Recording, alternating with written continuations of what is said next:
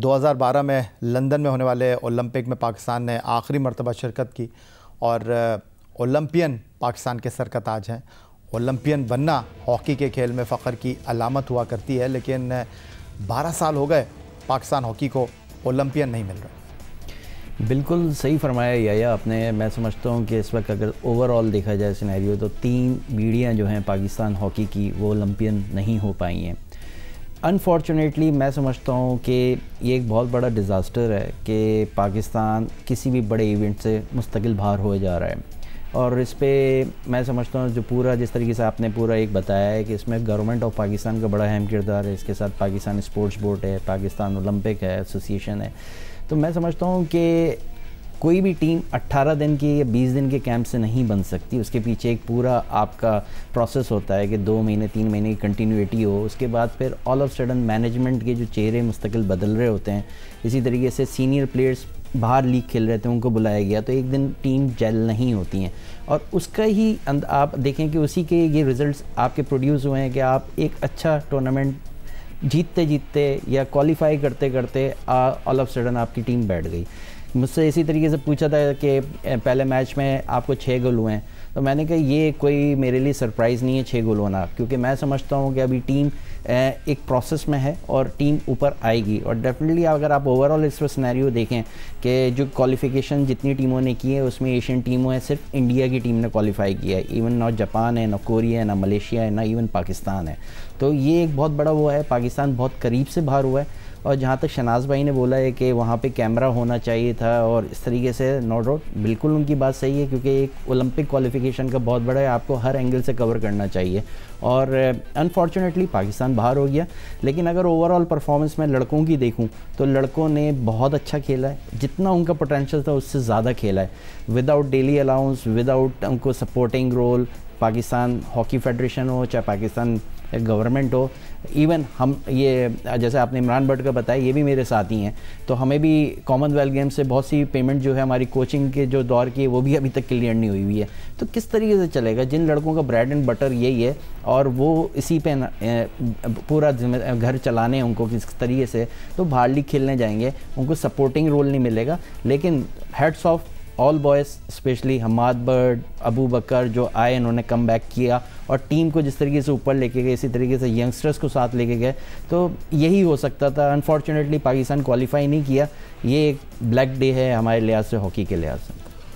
Imran programme में आपको खुश आमदीद कहेंगे और हालिया अरसे में गुज्त चंद सालों में पाकिस्तान हॉकी के हवाले से आप जिसने खुल कर गुफ्तु करते रहे हैं कुछ लोग आपको पसंद भी नहीं करते, लेकिन वो जो देखता हूँ, वो बोलने का आदि हूँ।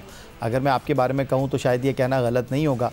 और हॉकी के मामला पर आप कई बार हमारे प्रोग्राम में आए हैं, लेकिन अब तो दिल खून के आँसू रो रहा है कि ओलंपिक में गोल्ड मेडल हम तीन मरतबा जीते हैं। अब तो गोल्ड मेडल दूर की बात है, ओलंपिक खेलना भी हमारे लिए खौफ बन गया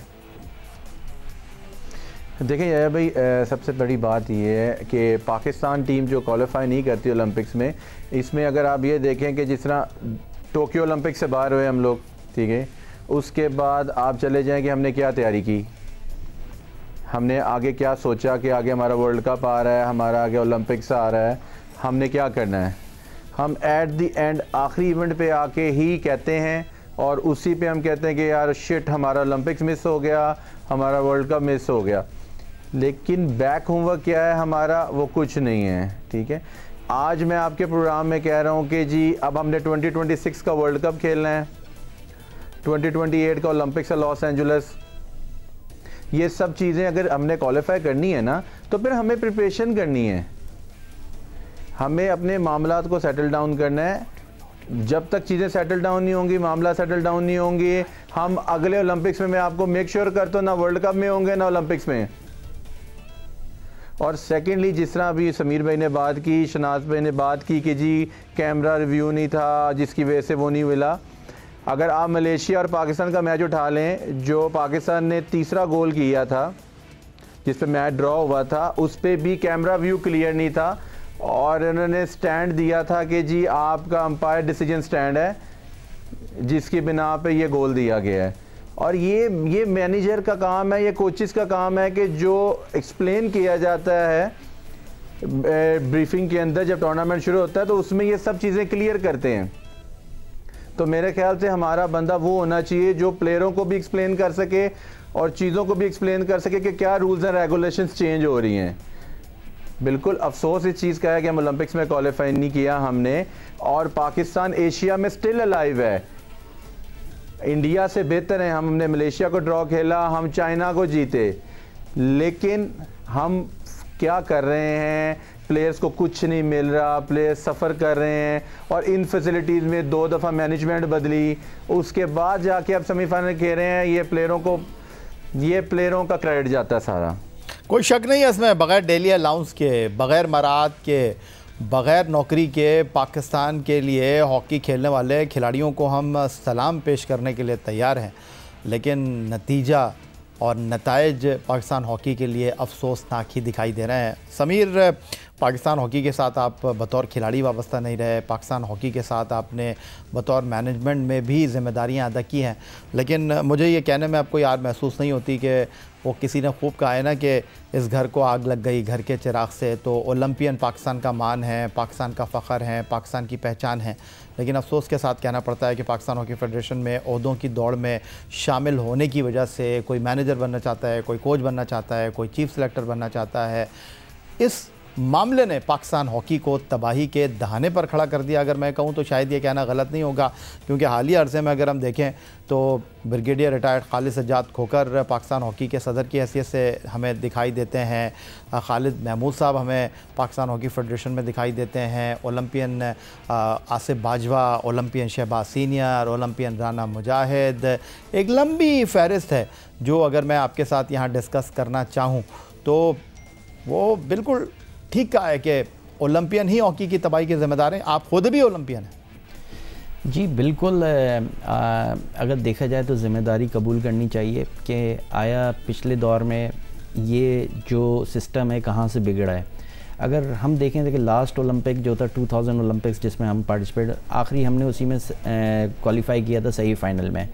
तो उसके बाद अगर ओवरऑल आप देखेंगे, दूसरे भी ओलंपिक्स में तो आप छठी पोजीशन में थे, फिर आठवीं पोजीशन में थे, फिर एक वक्त ऐसे आया है कि आप उसमें क्वालिफाई भी नहीं कर रहे तो ओवरऑल अगर मैं सिनेरियो को ये देखें तो देखें सबसे बड़ी बात यह है कि right man for right job होना चाहिए। अब बहुत से लोगों की डिस्कशन है कि यार आपका फॉरनर कोच होना चाहिए, वो भी आ जाए। तो मैं समझता हूँ कि हम 2014 में हमारी प्योरली अगर मैनेजमेंट देखें उस दौर में तो चैम्पियंस ट्रॉफी का हमने फ़ाइनल खेला। अट्ठारह साल बाद सही फाइनल खेला, हम फाइनल खेला हमने एशियन गेम्स का 2014 में और उसमें हमने इंडिया को बीट किया। तो इंडिया की अगर मैनेजमेंट देखें तो रॉलेंट ऑटमेंस टेरी वॉश पूरी उनकी मैनेजमेंट करोड़ों रुपए की थी और हम लोग की जो एक लोकल मैनेजमेंट थी जिसमें शनाज भाई भी हमारे साथ थे तो हमने वो लास्ट हमारी विक्ट्रीज उसी दौर में आई हैं। तो मैं समझता हूँ कि देखें, अगर आपको भरपूर टाइम मिले मैनेजमेंट को और उसमें लड़कों के साथ आप जेल हो सकें और लड़कों को भी एक फ्री एक्सेस दिया जाए कि सही है आप इंटरनेशनल हॉकी भी खेलना है, खेलेंगे साथ और प्लस आप लीग भी खेलेंगे। तो बेसिकली हमारे पास कोई इस तरह का कोई सिस्टम नहीं है